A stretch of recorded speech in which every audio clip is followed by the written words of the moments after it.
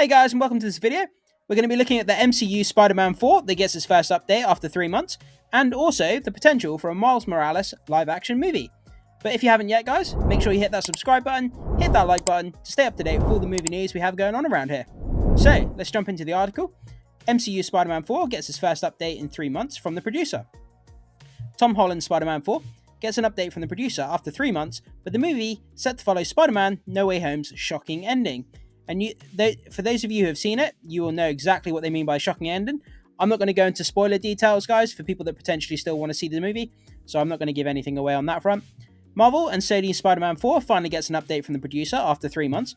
Tom Holland will return for the Marvel Cinematic Universe's next Peter Parker adventure. And Marvel Studios president Kevin Feige has already revealed that Spider-Man 4's story has been set. While there are not many de details available regarding the story, what might entail, or which characters might be part of it. Spider Man 4 has received an update that should give an idea of more about when the movie should become public. Okay, let's keep going. So, speaking with Variety, longtime Spider Man franchise producer Amy Pascal shared an update on the status of Tom Holland's Spider Man 4. Pascal stated by confirming that Spider Man 4 is moving forward before revealing that the movie has been affected by ongoing Writers Guild of America strike. According to Pascal, Work on the film has been stopped as all the people involved are being supporters of the strike. Pascal confirmed work on Spider Man 4 will resume after the strike ends. Check out the full quote below. So, are we going to make another movie? Of course we are. We're in the process, but the writer's strike, nobody is working during the strike. We're all being supporters, and whenever they get themselves together, we'll get started. Yeah, guys, so it was kind of inevitable that we were going to see Tom Holland again.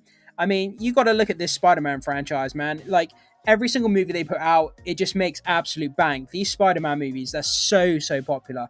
He's got to be one of the most popular characters in the MCU. And every single Spider Man comes out, it just makes, you know, truckloads of money. And there was no way they were going to leave a Spider Man 4 on the table. Um, it just makes too much money, guys. And you know what I always say in Hollywood, money talks. So, of course, they're going to make another one. So, when will Spider Man 4 release?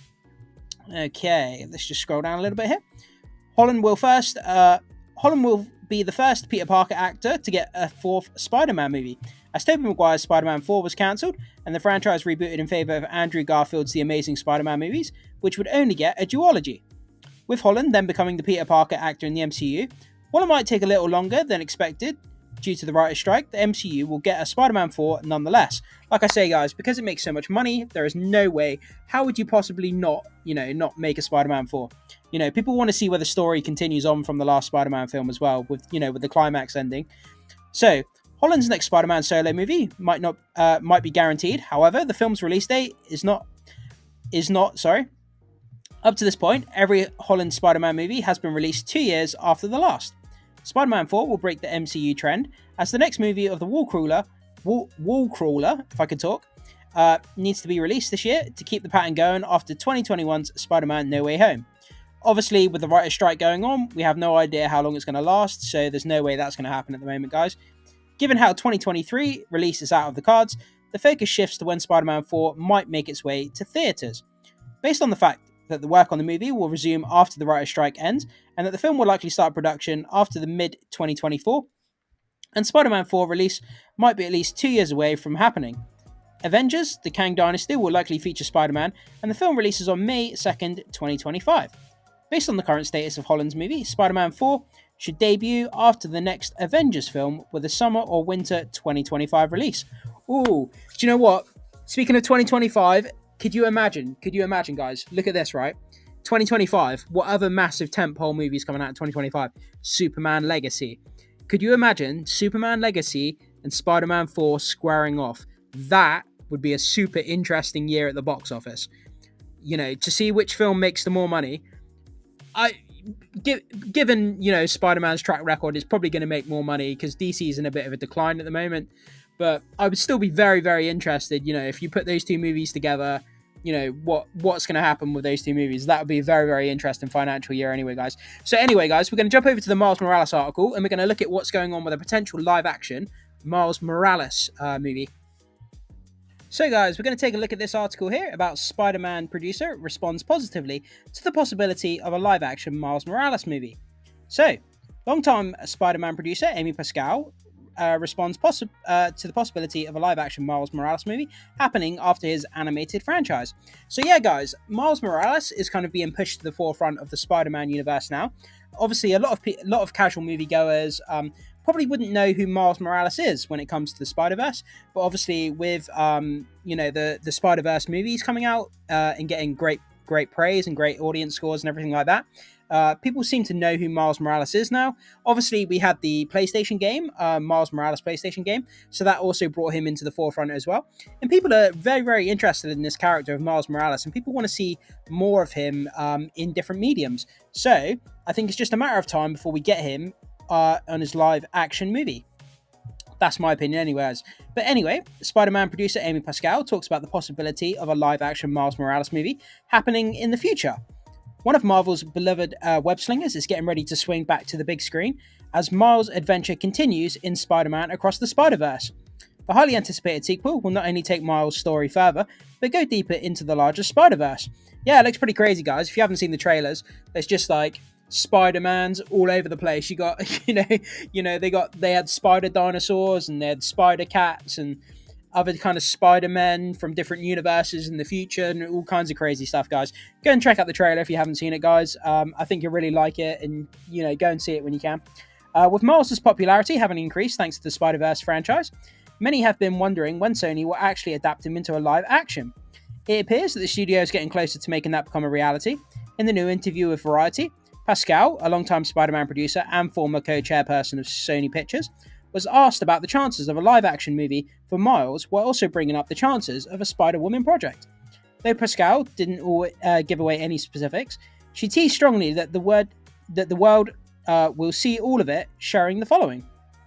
I can scroll down here. Um, you'll see all of it. It's all happening. So that was a quote there from Amy Pascal, the producer. So yeah, from this quote here, it sounds like they probably have a lot of plans going forward. It wouldn't surprise if they have like the next 10 years mapped out for the Spider Verse.